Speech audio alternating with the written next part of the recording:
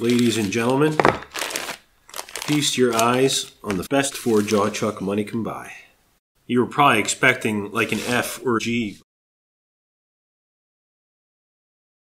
Yeah. I've wanted a four jaw chuck probably ever since I got the lathe.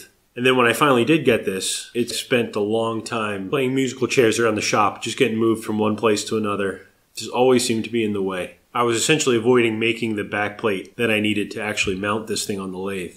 But I woke up this morning, looked myself in the mirror, and said, This new, Tony, today's the day.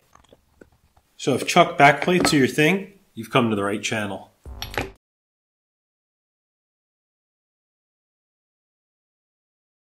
Now, word on the street seems to be that uh, chuck backplates should be made of cast iron.